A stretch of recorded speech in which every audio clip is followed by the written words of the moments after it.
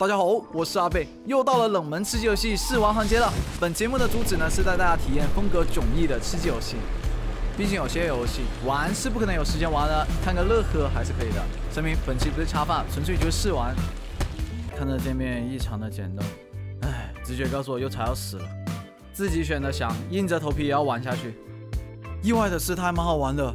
游戏机制相当简洁，三十个人比谁活到最后，每个人最多减五个技能，不同技能可以分解，从而获得经验升级。开始游戏，选出生点，但是越靠近点越好。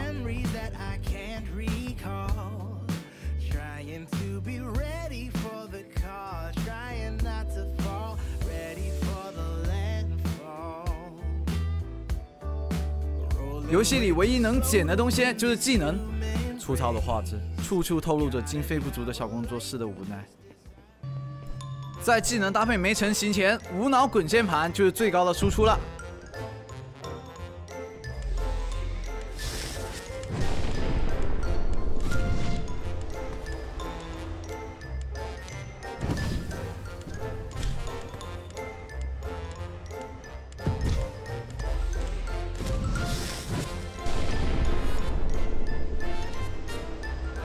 发育一波后，我的技能已经能够组合搭配了。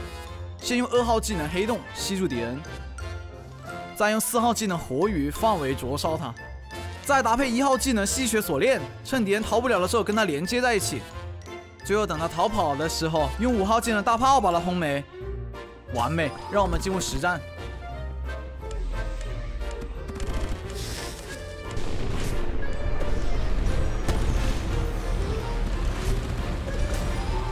而这局就这么愉快的结束了，让我们再来认真的玩第 N 局。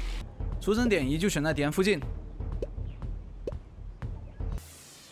哇，不是吧？这敌人离我这么近，不是你死就是我亡了。等过场动画结束，我就搞定你。可以动啊，快搞他！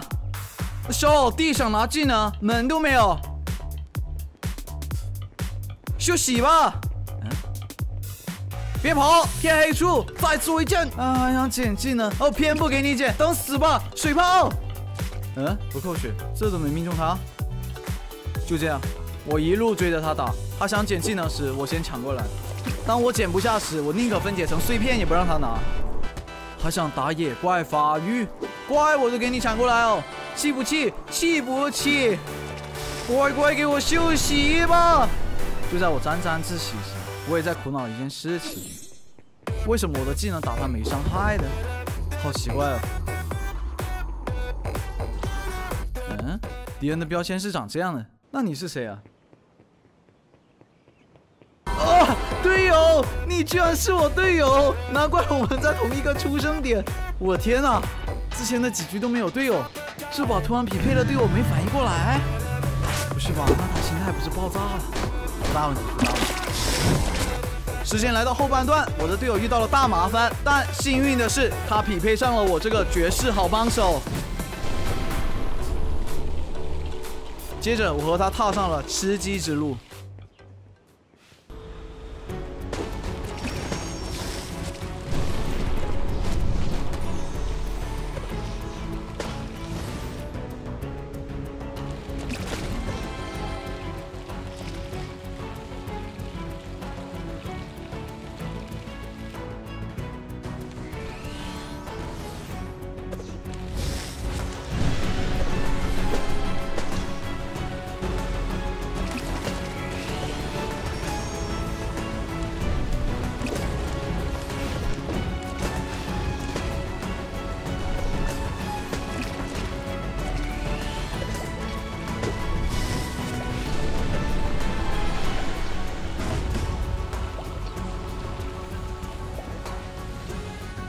总结本款游戏，游戏名为《瓦尔格雷夫：不朽的平原》，画质相当简陋，游戏机制简洁，游戏体验却异常的好。可能是我喜欢无脑滚键盘放技能的感觉。